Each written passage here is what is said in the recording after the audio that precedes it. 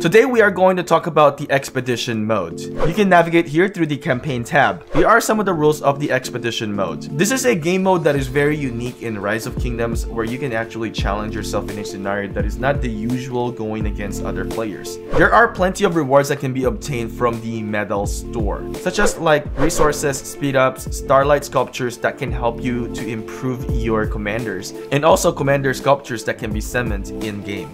For you to earn the perfect score or earning 3 stars, you must achieve your mission target to gain a perfect score. A great tactical march to deploy here is having your AoE commanders such as like Yi Seong-gye, Xun-Tu, Aethelflaed, which we are going to talk about as well, how you can obtain Aethelflaed through the expedition mode. Using Joan of Arc is also great as she can provide buff to the allied troops, and having a tank is also a perfect choice as a tank can absorb a lot of the damages within the battle. Within the battle, what I would recommend is to send your tank out first as he will be the one to tank all the damages within the battle and then slowly send your other marches behind your tank. This game mode is perfect for you to practice your battle skills. As you can see, our AoE are doing their work in here. As you can also see, Joan of Arc is also providing buff for her allies in here, dealing a better result within this battle. And then what you're going to have a result is that you are going to have a full and perfect score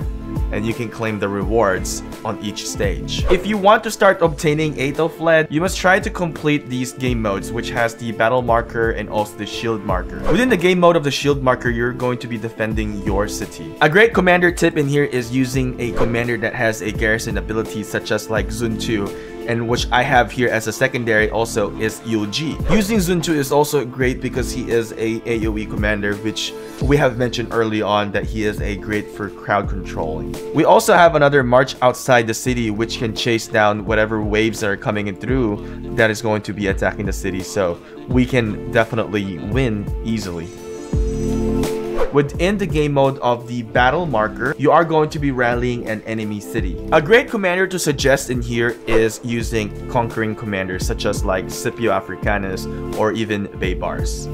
I will use a secondary march in here just to protect our rally. As your rally marches, what you should try to do is to protect it and attack the nearby opponents and eliminate them as fast as you can. After you have eliminated these swarms of troops, your rally will now be more efficient by attacking its target. A few things that can help you to succeed in the expedition mode is by using some of your boost in here, like troop expansion, enhancing attack, enhancing the defense, and also by activating your War Frenzy will help you within the Expedition mode as it will give you plus 3% troop attack. You can simply activate your War Frenzy by scouting any enemy cities within the kingdom. Now, a key thing to remember within the Expedition, Every 5 mission that you complete, you will be able to gain the first completion rewards that will contain a legendary commander sculpture and as well as a dazzling starlight sculpture. Now that you understand how Expedition works, you are now ready to set your journey in Rise of Kingdoms to be a true